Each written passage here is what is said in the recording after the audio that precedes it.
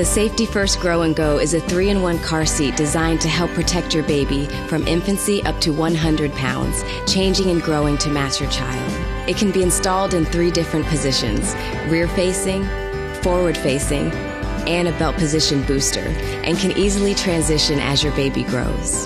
The Grow and Go is designed with real world use in mind and has a unique, easy off machine washable pad to make cleaning easy. Just pull it off and throw it in the washing machine.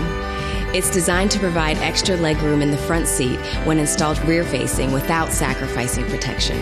And it features easy in and easy out belt hook technology to make buckling in a snap. The Grow and Go by Safety First, a car seat built to grow.